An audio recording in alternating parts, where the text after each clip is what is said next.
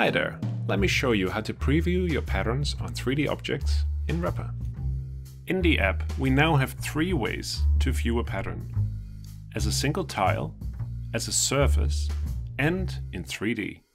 In 3D, you can view your pattern on a range of products, like this one, or like this one. Let me pick the t-shirt.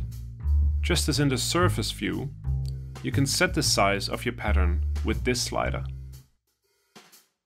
To rotate around the product, drag with your left mouse button, like this. To zoom in and out, use the scroll wheel.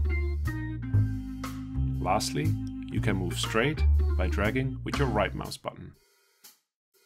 Together, these three controls let you move freely around the product. As with any navigation in 3D, this may take a little getting used to.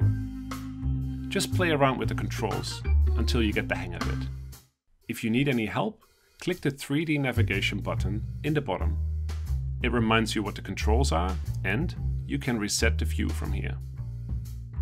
If you are using a trackpad or a touchscreen, click this link to find out how to navigate with those. You can freely edit your pattern while in 3D.